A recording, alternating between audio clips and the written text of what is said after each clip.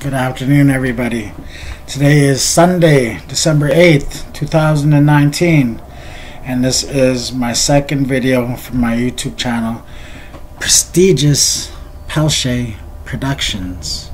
As I had stated earlier in the last video, this channel has been a long, long time in the making.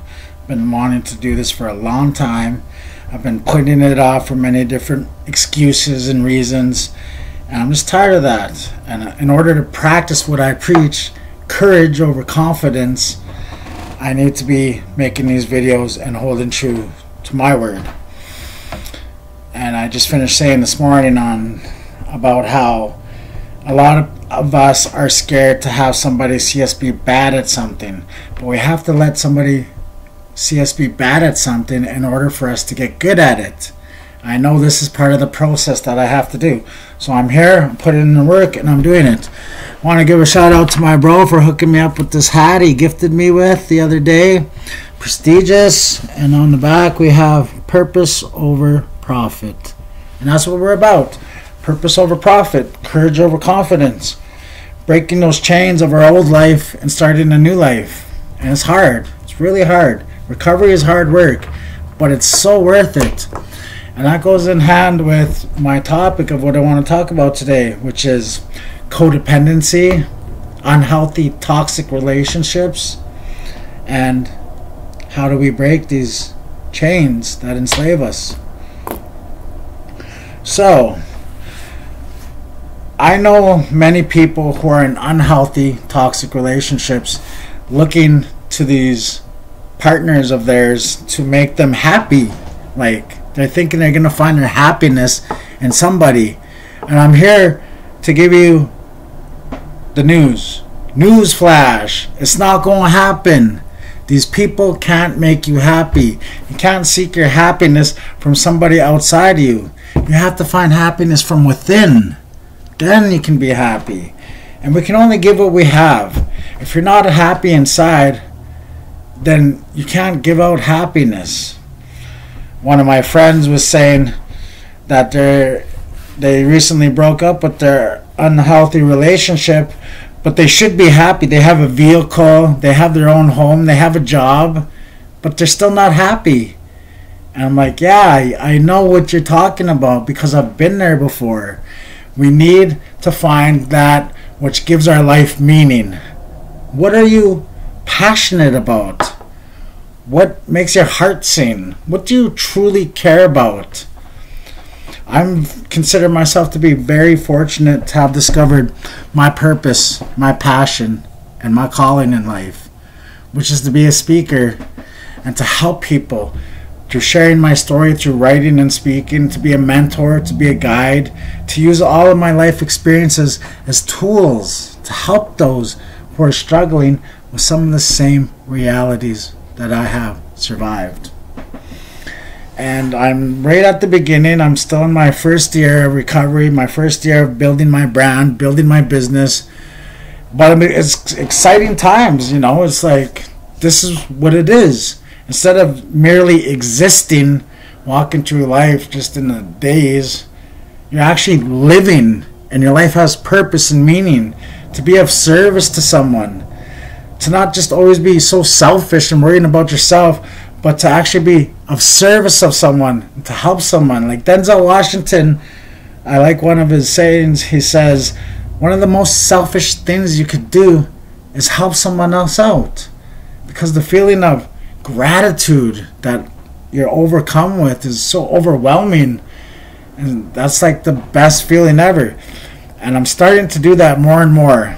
Is if I'm give the people what they want, what they need, then I am fulfilled myself. And it's amazing. So codependency. We all know people who are codependent trying to depend on someone to make them happy. Like you know when you're in an unhealthy relationship, the flags, the warning signs, they're lying, they're sneaky. Your your intuition is telling you this person's not right for you. But yet you're staying in it because it's what you know. It's what you're comfortable with.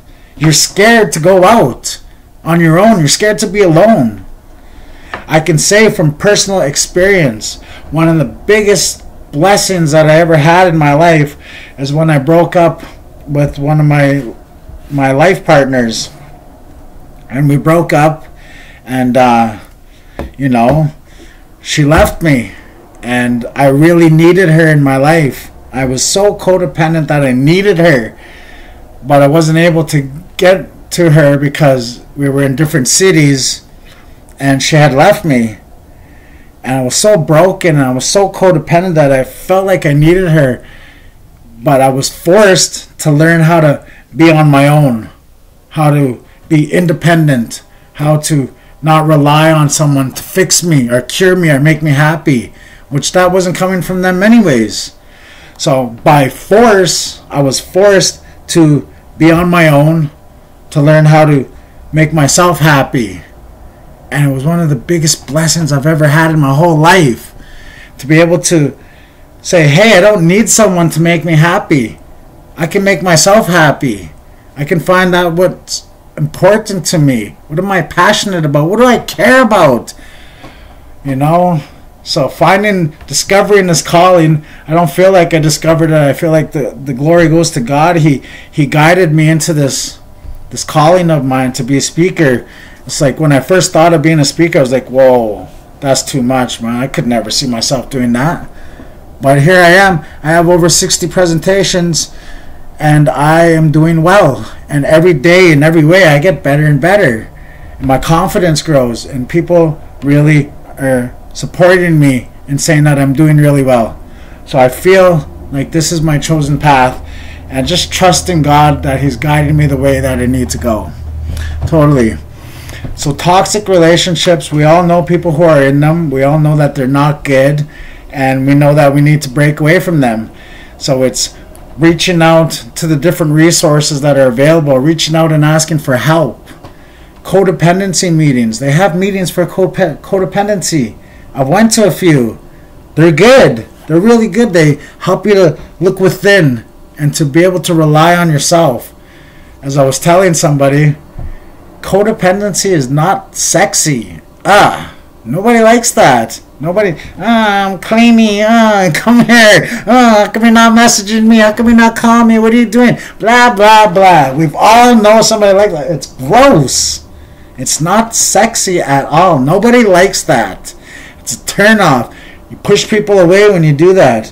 And I used to be like that myself, and I didn't feel good when I was like that. Trying to be jealous and checking in and all this and that. You don't need to do that. You need to be independent and have confidence in yourself and your partner. And if you can't do that, as I heard this guy say, no relationships in the first year of recovery. What do you have to offer? Jealousy? Codependency? Insecurities? And he's totally right.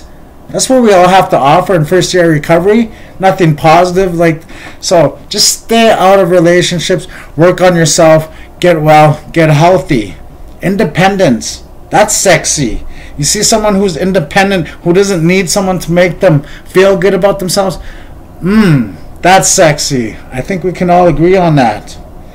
So, if I'm going to leave you with a thought today, the thought is going to be what is your purpose?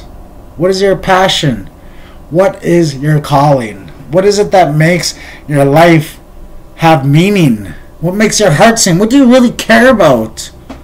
Right? If you find that and discover that and then pursue pursue that, then you can start building yourself up from within and become independent and not have to worry about trying to be in these unhealthy codependent relationships and breaking up and going back and breaking up and going back. See it over and over again. Stop it. Stop it. Don't do that no more. Become healthy. Heal. Become independent. Feel. Be yourself. Be real. All right. So that's the message for the today. I want to thank you all for stopping by my channel checking out my videos. I'm hoping this turns out well and um, have a great week. Purpose over passion, courage over confidence. Prestigious. We out. Thanks.